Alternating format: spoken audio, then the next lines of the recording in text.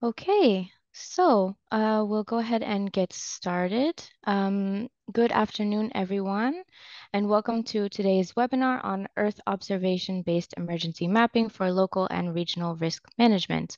So I'm very pleased uh, to introduce Stephen Clandillon. He's the director of SERTIT iCube Laboratory, and so today he'll be providing an overview of how SERTIT's rapid, rapid mapping service works, as well as recent results and developments. So SERTIT is based in Strasbourg, France, and it manages and produces geo-information during emergency mapping activations for user communities in the Copernicus Emergency Management Service System as well as for local and regional risk managers and the insurance world.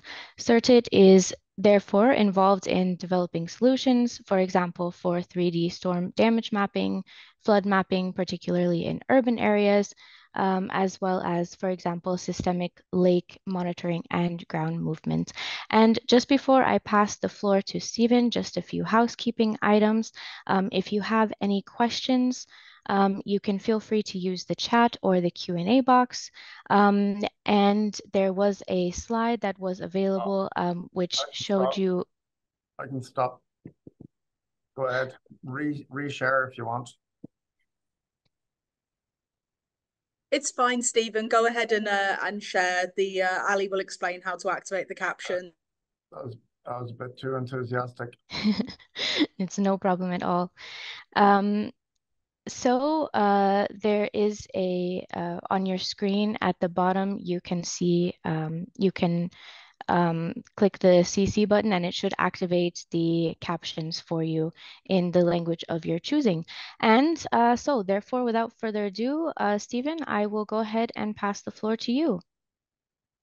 Thank you very much. I'm delighted to be here to present uh, rapid mapping with a major emphasis on Copernicus, right, which is our uh, which is our main uh, domain of activity.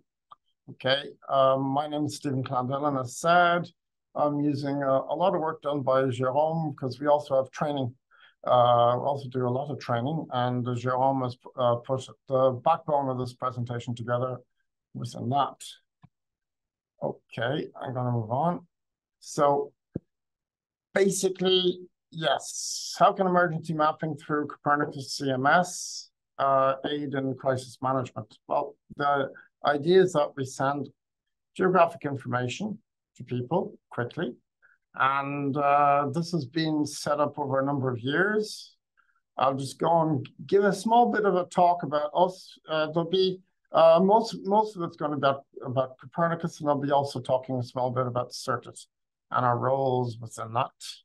We've been around since 1986. Uh, We're a technological transfer and service platform in remote sensing as part of the University of Strasbourg and the iCube laboratory. There's about 23 of us, which is a number of people uh, to keep going.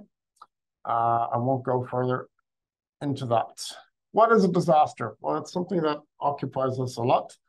It's uh, a mixture between a uh, when a hazard, exposure, and vulnerability all come together to create um, uh, something that we, um, a mess somewhere. Uh, disaster. So it can be climate or uh, how the hazard can be linked to climate issues. It can be linked to Earth, the Earth's activity. I'm a geologist, by the way. I'm, I'm a geologist that escaped geology, but yes, uh, geology still interests me. Uh, and there's also humans, uh, human activity related disasters. Um, and of course, there's a good mixture between them because climate and human activities, of course, are slightly related. But anyway, that's not really what we're here for. The Copernicus system. Well, you know probably the disaster management cycle a bit more than myself. Well, we focus to a large extent on the event, but there are aspects within Copernicus and post-event and pre-event. And I'll, I'll go into that a little bit too, and I'll try probably We'll work through that ahead of focusing on the actual event work itself. Copernicus. It is the only system that I know of anyway. I think it is therefore the only system that has and deal uh, that has solutions and deals with all parts of the disaster cycle, meaning uh, during uh, during an event with rapid mapping, which is standard, uh, on-demand, standardized, and uh, is very fast. We do within that very little reference mapping anymore, but a lot of delineation and grading maps, plus uh, more and more situation reporting, which is basically bringing in ancillary information from outside to enrich uh, and improve our products. Then there's risk and recovery, which is the risk part is the pre-event part. Uh, you analyze the hazard, potential hazard, the risk, and the vulnerability to that, plus the also um, how uh, how uh, an area rec uh, recuperates after after an event. So that's the risk and recovery mapping. Then there's sections on early warning with uh, both uh, floods and fires being dealt with to a certain extent. These are important inputs. Uh, we get EFAS, GloFAS warning systems to allow us to pre-program or program in advance satellite data. So we get ahead. It's quite important. Right, the what can we do? Uh, what can remote sensing or a service like Copernicus bring to people dealing with uh, disasters? In the pre-event, we need to start up getting databases together, basically, and which will help us in risk eval uh, evaluation, mitigation, prevention, training of people to understand how to use the data, um, and and and their we we've often done in the past uh, training programs with uh, people uh, within uh, disaster scenarios uh, to help them understand how to use the data that's coming in, uh, and also this preparation, of course. I'm not going to go through everything. You you'll get a PowerPoint after this. As part of this, okay, that, those are listed text here. I like images maps. You can see here, for example, an economic exposure map. Uh, we we did that for uh, a World Bank uh, study. And uh, you can also do uh, risk indexes or just basic uh, just basic information from topographic maps is important. getting the best digital elevation models already in a database and easily accessed uh, during an event is really important as well. So a lot there's a lot of stuff that you can do um, in the pre-event phases that, that needs to be done within the during an event. What can we help? And well, it's not the data itself. It's not us. We don't make the decisions, but we can try and help people make decisions. And um, in locating a place where where things are happening. So, and this would help, uh, for example, civil protection agencies and whatever, and other uh, other associate agencies to come uh, to the systems of the population. Uh, also in uh, logistics, we, I know that civil protection agencies have made decisions about sending such and such a, a level of assist assistance and or uh, resources to given areas depending on the the damage scene or the or the event itself. Situational analysis is important overall and running monitoring during a, an event. That's all quite important and we can give a hand in that. We don't just need to use, we don't just use satellite data, by the way, we can use aerial, drone, whatever, uh, LiDAR data that can, can help us. So any any data that can be used to uh, to uh, derive geographic information is useful here, and so that we can then send the information, uh, send that information very quickly. The post phase, well, we're talking about risk and recovery, recovery part, so it's rehabilitating and uh, it's monitoring of the recoup uh, of the rehabilitation of uh, an area, the reconstruction of buildings, for example, over Boumerdès in Algeria, we analyzed that over, over a period of 10 years, which is interesting. Uh, see what's happening. Uh, feedback. It's important to get feedback as well uh, during the event and from the from the ground, so that we can also help uh, optimize the service we're providing. And the we can help people do risk evaluations uh, and also try and mitigate or prevent uh, or work on trying to mitigate or prevent uh, the next disaster. Well, not geophysical, but definitely um, other ones can be, you can help prevent them. Okay, this is an example of a post-event one. I'll show you lots of event uh, imagery afterwards. This is a compilation we put together for uh, of a num over a number of dates on the the analysis, the monitoring of the rebuilding of Saint-Martin. Um, so there are buildings that are under construction, under recon, uh, so they'd be new, uh, under reconstruction, new built, whatever, okay, and over a period of time. So this can help uh, people understand what's happening on the ground, whether actually whether the, the money is being well spent. There, because uh, people, uh, countries send a lot of money into these places and they like to know what's happening. Here, actually, the Dutch were more efficient than the French in getting uh, in getting buildings to get uh, back back up and people into solid homes. We also look at vegetation recovery monitoring. For example, after a hurricane, uh, hurricanes can flatten everything, uh, including buildings. And uh, here we're talking about vegetation crops, and therefore to see whether an area is beginning to be agriculturally, act, uh, agriculturally active again, uh, to see whether uh, or, or, not, and that's important. So we're we we did this in Haiti. We've done it in a num number of other places at the request of international agencies. Okay, now I'm going to focus more on rapid mapping. We work, uh, SERTIT works uh, mostly within Copernicus Emergency Management Service and the International Charter. The other ones I won't mention, I'm just leaving them there. Uh, and I'll have a most of uh, focus on Copernicus with uh, the International Charter as a source of satellite data for this within this presentation.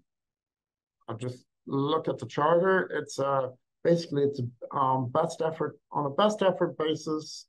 Satellite um, space agencies provide uh, data whenever there's a disaster, whenever, which means whenever a uh, a user, an authorized user, requ requests uh, imagery and or value-added mapping services over a given area and they'll all they'll all focus their acquisitions on that if they can. So it's there's quite a number. And just giving you an idea, we work within Copernicus, as I said in the charter. Uh, most of them are nature-related disasters. We work with floods, fires, earthquakes. The worst are tsunamis, I would have to say. But some some of the earthquakes can be horrible. Uh, but the most frequent ones are fire and flood, particularly uh, when we're concentrating on Europe and Copernicus. Uh, we also get yeah windstorms uh, that thankfully are mostly outside of Europe, and uh, for Europeans, I mean, and some geophysical stuff plus uh, humanitarian crisis. We don't get much of that. They often go into other Copernicus services requests. Copernicus EMS.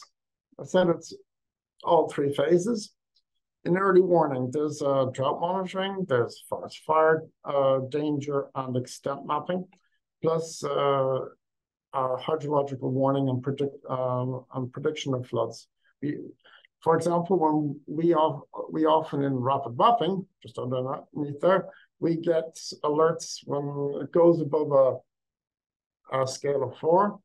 Uh, we get uh, an automatic alert to go and acquire data over a given area that's handy because it gives us a heads up and we can get data acquired earlier than if if they waited until the event itself. So th this is prediction um, prediction leading to uh, le leading to uh, the activity of at least acquiring the data, and that can lead on to mapping. But the rapid mapping, and I won't go into risk recovery because I've done enough of it. Okay, risk and recovery just uh, an outline here.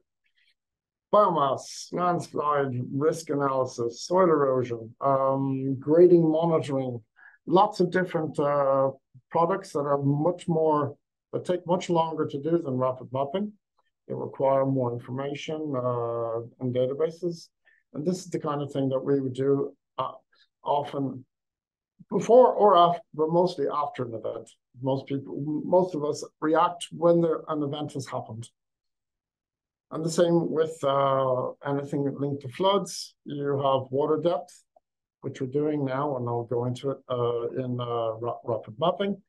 Maximum water extent, multi-temporal flood extension, and other and impact statistics and things like that. This is the kind of thing you can uh, you can request. It takes a number of days, but it's uh, it's a fairly fast service within the standard uh, uh, risk and recovery now service.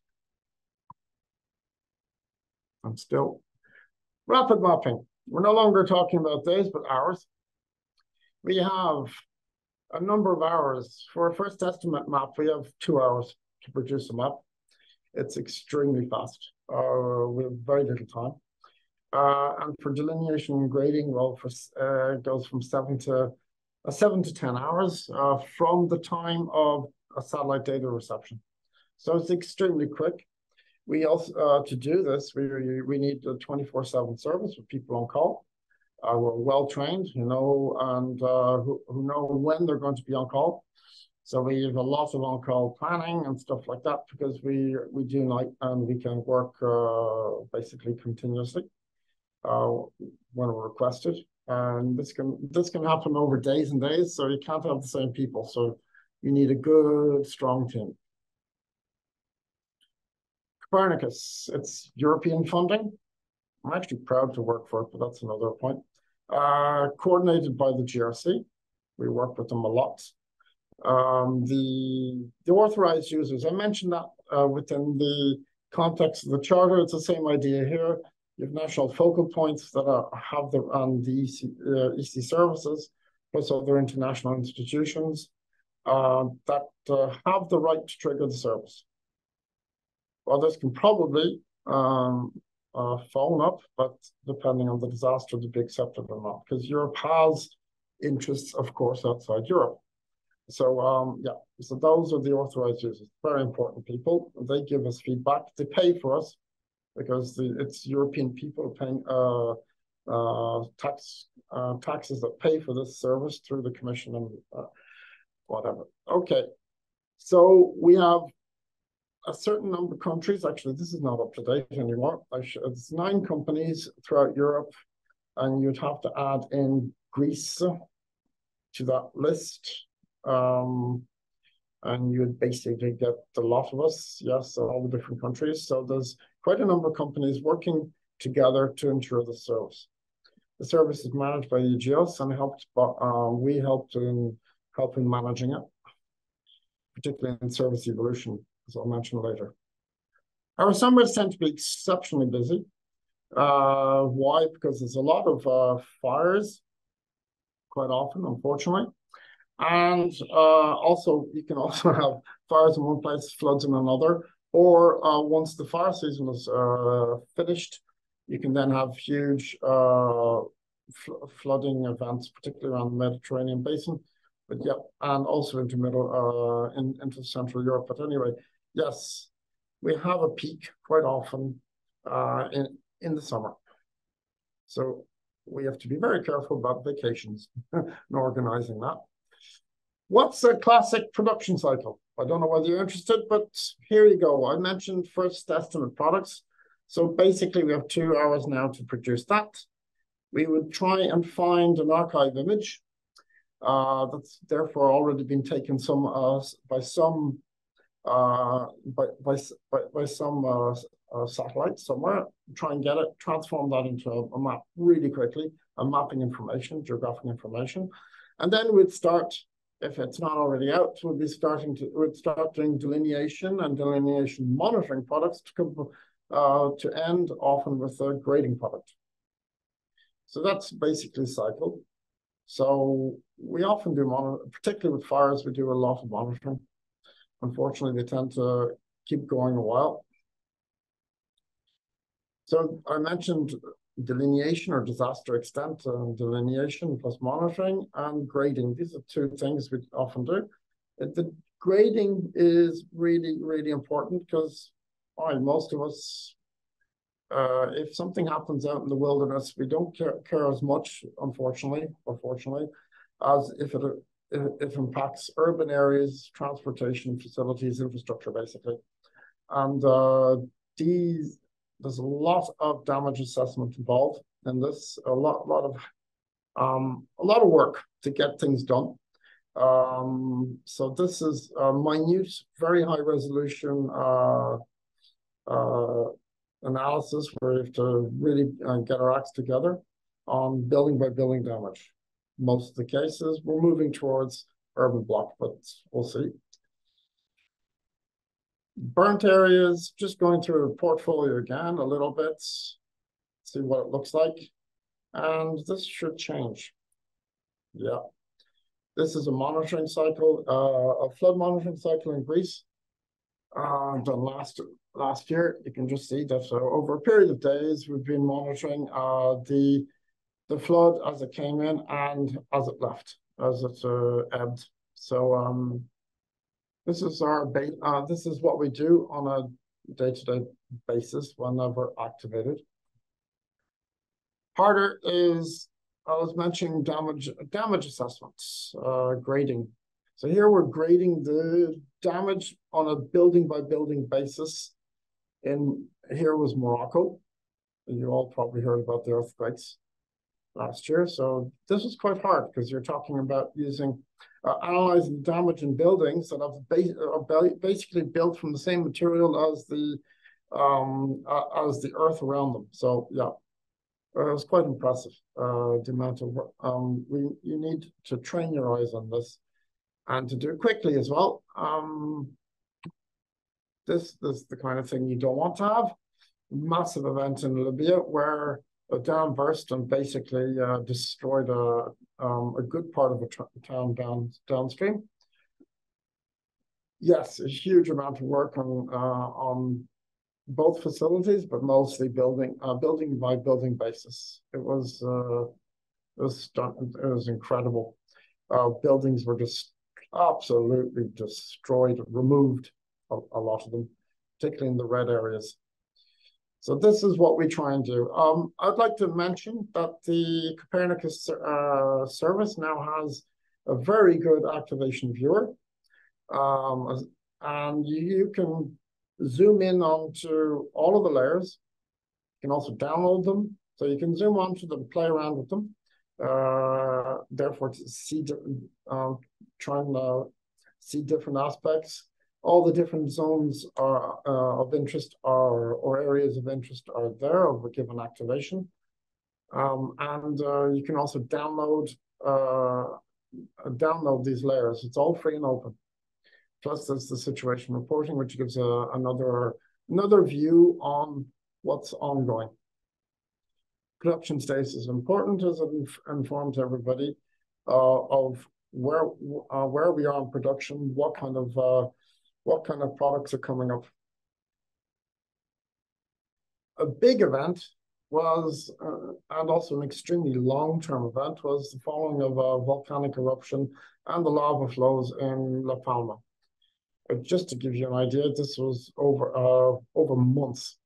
So sometimes some sometimes our events are extremely fast, but other events can be over a period of time, like this one. And I, uh, I well over a thousand buildings, I think, got uh, dam were damaged by this thing. So it was actually quite important to monitor this over time.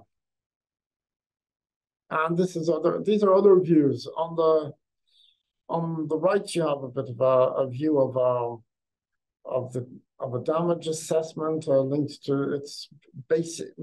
It's disappeared a bit now. We're changing that to land use, but it's uh, it was basically fire severity. Uh, on the left, you can see the spread on uh, on an observation by observation basis of the fire over time in the French Landes. This was done within the emergency service, uh, uh, Copernicus emergency service, as you can see. So we have different products coming online. I really do uh, like the fact that we're exploring more and more how to communicate the, the information to users, to everybody, um, through this activation viewer. Very recently, SERTIT was heavily involved in, in that's there from my team, we're heavily involved in working on something that you might think is simple, is calculating water depth from an observed event. Therefore, the water extent of uh, of a flood, for example, and uh, digital digital terrain model.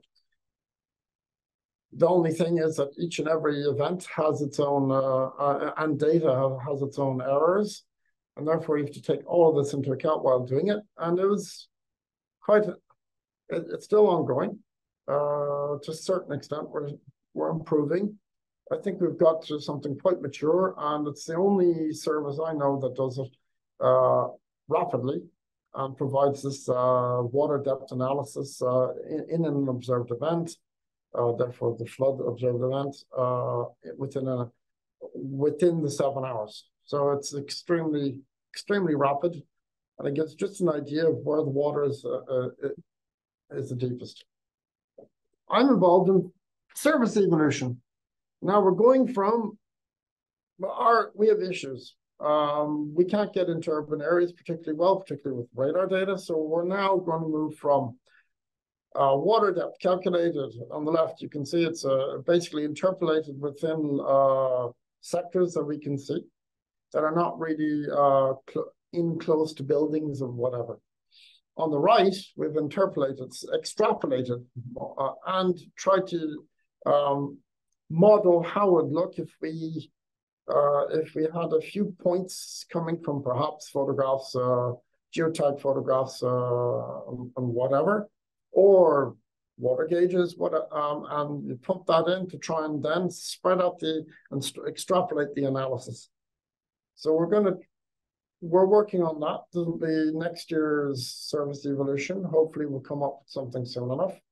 But the idea is to get the flooding into the urban areas and indicate uh, the areas most likely to have been affected.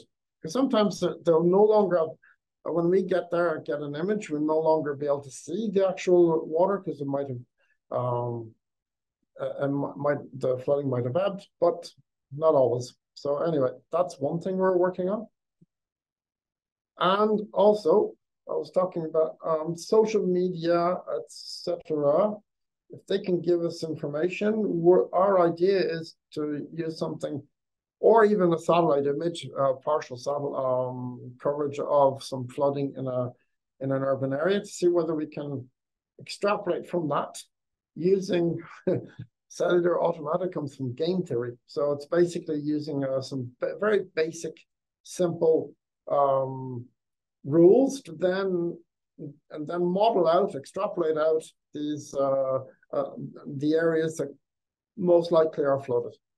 So that's something we're heading into uh, next year as well. So we're going to go uh, trying to go from outside the urban area into it, but also trying to get something in the area, in the urban area, and to see, uh, given a certain water depth, for example, in a given area, what could that affect if we extrapolated it out? So it's a, a lot of it, uh, the integration of ancillary data, um, social media I mentioned, water gauges, flood risk maps, precipitation for modeling. So we're we're working a lot on this, and uh, it's something to look forward to next year. Urban flood modeling, it's the big it's the big challenge for next year. So I think I've finished basically. Um, presentation, overall presentation, the kind of things we produce and uh, the products we deliver within Copernicus and other uh, frameworks. And we're giving an idea. We're also working on 3D, the 3D modeling of forestry damage following windstorm, wind, uh, windstorms and stuff like that. That's what the, that's really very much three um, R&D work but uh, hopefully we, we, we it's more uh, applied research. We have an idea of how to do it, but we have to make it operational. That's very different. It's a bit, always a big challenge. And there are other things also. We're looking into how to use uh, uh, thermal imagery uh, very quickly to give an indication of the impact of heat in an, in an area and therefore the damage of that uh, during fires. Not just and not just on the objects were burnt, but maybe uh, uh, maybe things uh, like vineyards and whatever around uh, surrounding burnt areas. So I'll stop there and let you ask me questions if you're if you're still awake. Thank you, Stephen. Um, we actually have more people now than when the webinar first started, which is a great sign. So I think everyone is still very engaged. Um, so I have a, a question in the chat. Um, so the question is, are you going to implement AI recognition to find destroyed buildings and to compare the satellite images? Okay. At the moment, we can't. Why? We can probably use AI, and it's it's quite mature, I'd say, to um, map buildings themselves. To actually map and consistently and operationally map the damage in buildings, it's really complex. Why? Because we often get uh, we often get imagery taken at extremely different uh, angles. So therefore, when you're looking from the left or from the right at a higher angle, uh, tall buildings, for example, are projected completely uh, the um, the opposite direction. And AI doesn't do that yet. It, it doesn't rectify uh, rectify all of that yet. Also, uh, we've seen we've seen it over Turkey. We've seen it over. Uh, um, it was completely useless over Morocco, um, but we saw over Turkey premises of extremely good mapping of buildings, and that's uh, that for us is quite good. So, for the moment, it's a partial solution to certain aspects. It's uh, we're using AI more and more in flood mapping we already use, uh, well, it's uh, advanced machine learning. So yeah, it fits into AI. Um, and we're trying to expand, uh, try to use AI as well in fire extent mapping because the human eye is still the best thing uh, around to interpret images, particularly for the more the sparser, more complicated areas, or in areas of high relief with um, uh, very much varying um, illumination uh, uh, with lots of shadowing or, or extremely exposed surfaces, whatever. So, yeah, we're trying we're trying to use it because we'd like to because we'd like to do more faster, definitely, but it's not there yet. Would you have expected me to say yes?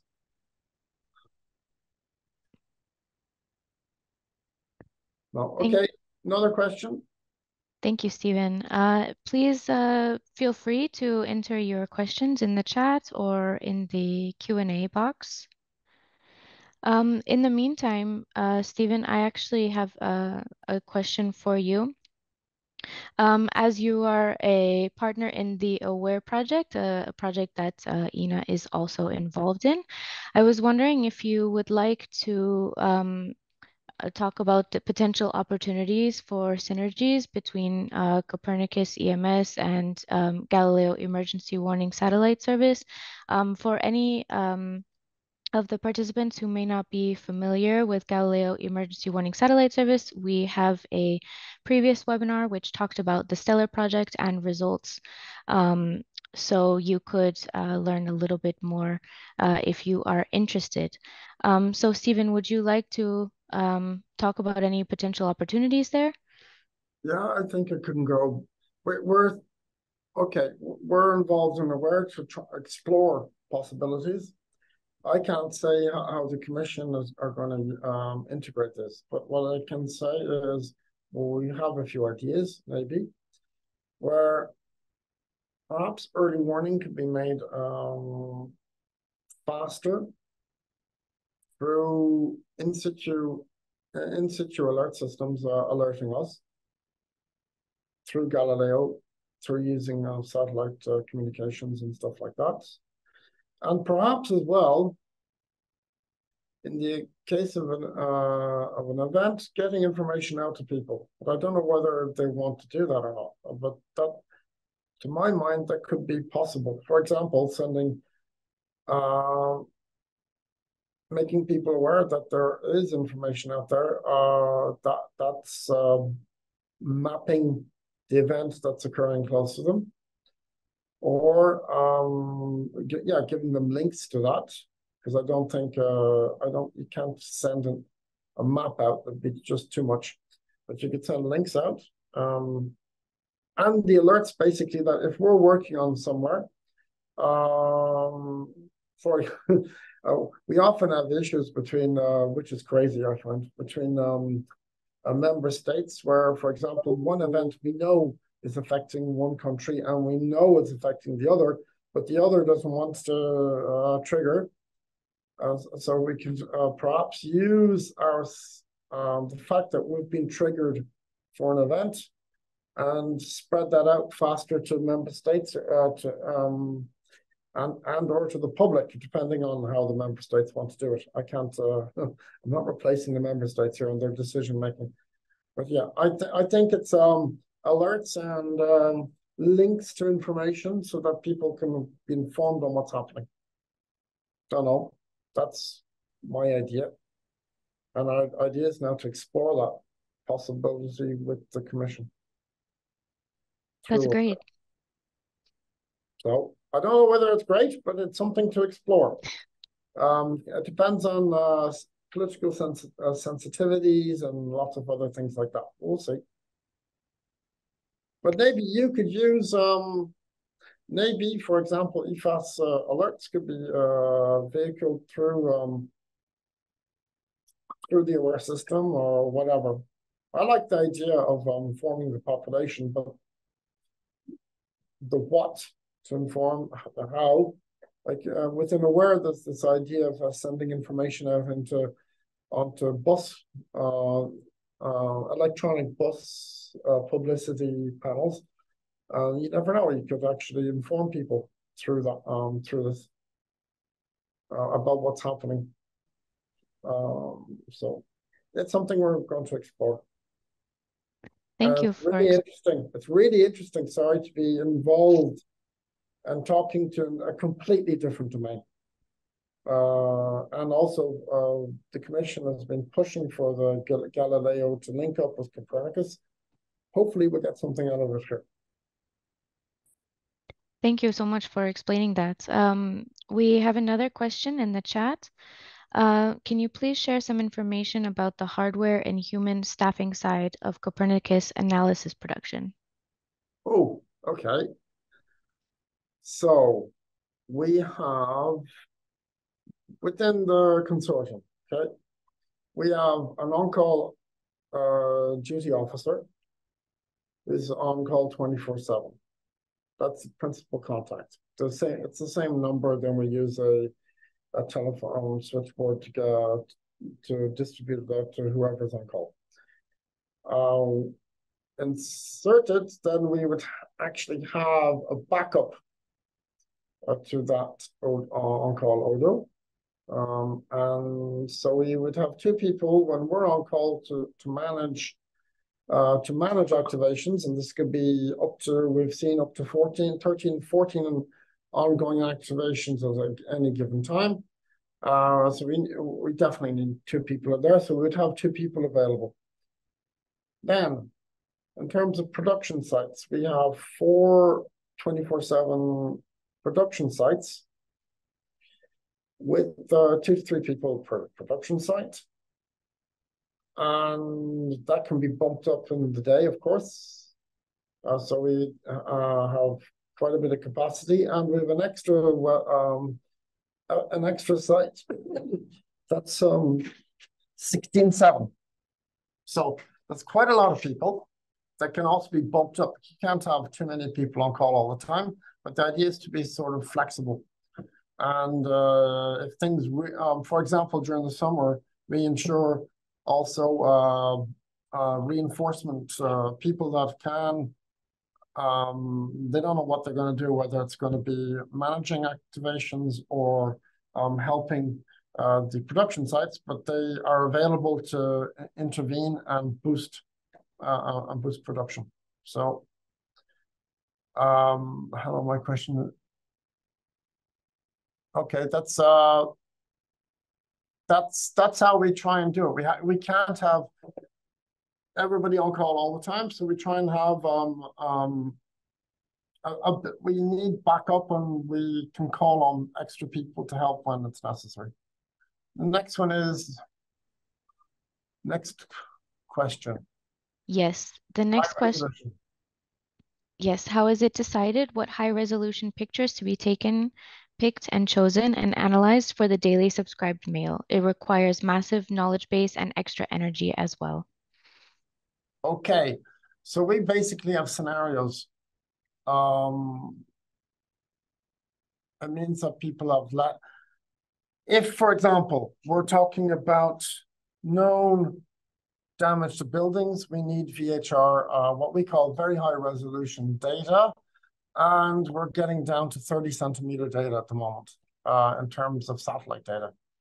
Okay, uh, sometimes you also get a bit and a, slightly delayed often, but we also get um, aerial, drone, whatever imagery, and that can go down to a few centimeters. So, but it, it's all that's all linked to damage to uh, the built environment, we call it that way. Therefore, it doesn't have to be necessarily 100%. It's in rural areas, but damage to the built environment. It's wasted on large uh, rural areas. We don't do it there. Rural and for large rural areas, you're talking um, talking about imagery um, in around the three to four meters and upwards. So uh, that would be for large uh, uh, large floods outside urban areas. Uh, but we also combine them because sometimes you'd be wanting to have uh, an overall view um, that you won't be request. Uh, you can't request extremely high resolution over vast areas. It just doesn't exist really, uh, or it's not delivered quickly enough. Um, it's uh, it's it, it's an equilibrium to find. So what we often do is uh, we have a slightly less um, precise imagery over wide areas, and then we'll focus on urban areas uh, with the VHR data, which is 50, generally 50 centimeters to 30 centimeters. I hope that answers that question. The next one, hello, my question is, uh, we don't continuously project, ah, CEMS does through the global flood monitoring, uh, global, global flood monitoring, you, it's, is it continuous? It's debatable, but it uses central Sentinel-1 data that is acquired continuously. And whenever there's a flood and it is over that area, it will acquire those data and they will be very quickly transformed into flood into uh, flood mapping. Uh, so do we do it continuously? During an event, we do things whenever imagery arrives, we transform it into geographic information with the situational uh, analysis, we will also get ancillary data in and then compose a sort of reporting on that. And that can be that can be done outside of the standard satellite image uh, mapping uh, production. So that can be a bit more continuous, but I don't know what you mean by continuous there, but it's on a very regular basis. Let's put it that. So it's more period, um, yeah, it's uh, whenever we get an image in, we will update it. It's very rare to find something that's going to provide us information continuously. Although, um, in a R&D aspect, we're going to be looking into um, imagery taken on bridges, etc., in France. To well, hopefully we'll be doing it. It's a, it's we have to win the project to see how um, how the situation is evolving close to these bridges, because bridges can provide, uh, can, along with debris, actually lead to um, flooding of its own accord, because the water backs up.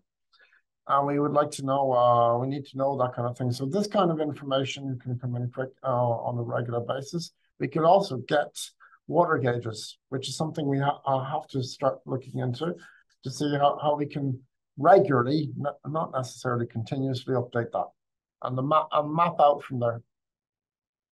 Aristotle, sorry, I don't know.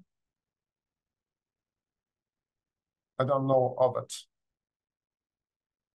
And what is the overlap with Galileo? Um, I don't believe there's any overlap with Galileo in terms of the satellites we use at all.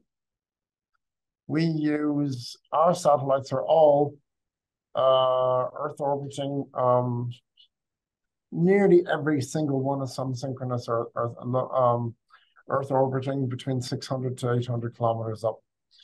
Uh, so no, I can't. Uh, so Galileo to me is communication satellites mostly way up in geostationary orbit, unless I'm wrong. Can be. Is it possible to visit us? Yeah, but not uh, not all the time because we have things to be doing. uh, we could a little bit, yeah. Um, a short visit is possible to be organized, and uh, I like I like chatting to people and showing what we do. That's my part of my job. So uh, it is possible, but like if I start seeing fifty different people asking for different different things at different times, I will say no. it can be organized as a group meeting uh, or a group uh, visit. That's always fun. Okay. Thank you, Stephen. Do we have any more questions? Sorry, can somebody tell me what is Aristotle? I'd like to know.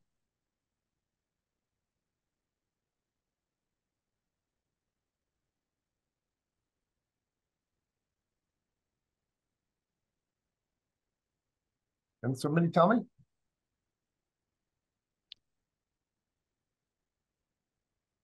Ah, okay. Well, we work with the ERCC all the time. They are our main, within Copernicus, they are the organization that gives us the stamp to say that this activation is to be taken into account by us and we're to work away on it the actual scientific partnership behind it, we don't um, we don't know all. I don't know enough of, and I should probably look into it a bit more. Um, because well, they have such a vast range of activities that uh, I'm quite sure they need um, a huge amount of scientific um, backup in many many different areas we try we um, i'm involved in the scientific uh, partnership to try and improve our service the service evolution and we're working with uh, the jrc to try and improve the service to the ercc um, so i don't know too much about our stuff. Thanks for bringing that up.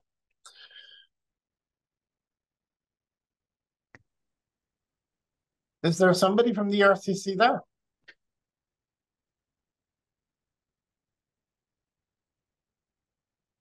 because I'm really, really, I, I love working, uh, uh, the idea of working, uh, working for the ERCC. So much work that uh, the DG ECHO. Okay, I don't see anything.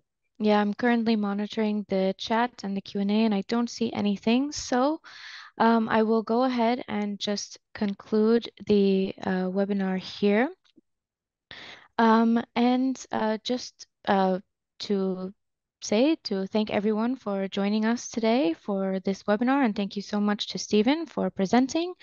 Um, you, if you're interested in more webinars uh, by EENA, we will have one on the 21st on understanding eCall legislation, and then we will have one on the 9th of April, continuing our PSAP innovation series uh, for the Protection and Rescue Center in Zurich. So thank you so much. Um, the materials and the recording of this webinar will be uploaded to our website shortly. And I wish you all a very nice rest of your day.